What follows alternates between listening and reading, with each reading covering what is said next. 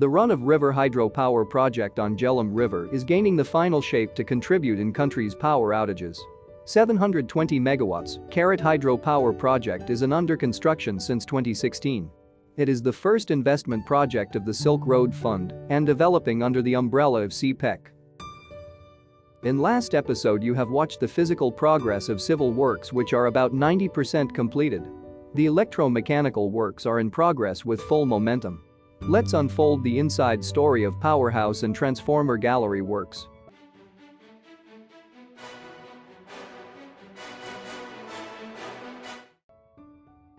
On September 29, the first runner of Francis turbine has been delivered in the main powerhouse hall. With the joint efforts and cooperation of all stakeholders, it was smoothly delivered to the construction site. After arriving in Pakistan, it took 46 days for customs clearance and inland transportation for a 1,700 kilometer long route.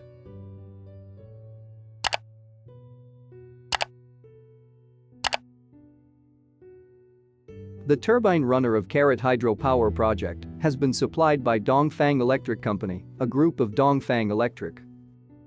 The unit weight of this giant piece of equipment is 126 tons and has a diameter of 6.3 meters. It is 3.3 meter high the heaviest and widest part of the turbine.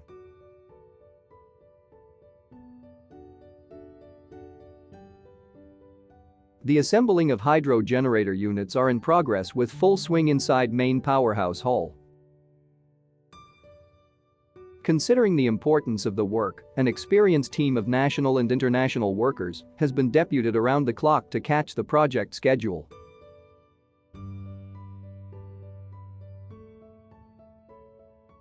The Karot Hydro Power project would be consist of four generating units.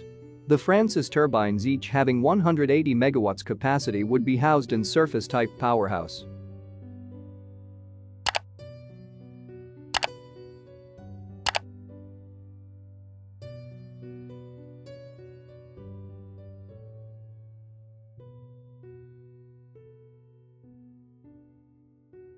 The construction of transformer gallery and gas-insulated switch gear has already been completed. 13 single-phase main transformers has already been placed at their appropriate places.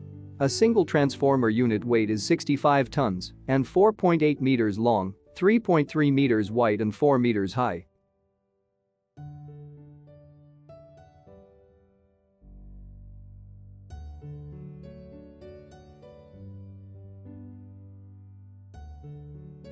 The electromechanical equipment supply and transportation always played key role on the project overall schedule, and timely delivery of such key equipments provide solid foundation for project completion.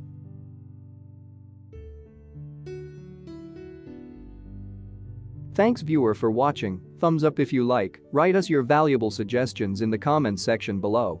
Don't forget to subscribe our channel for more informative and exciting videos. Share the video link to your friend if you feel value.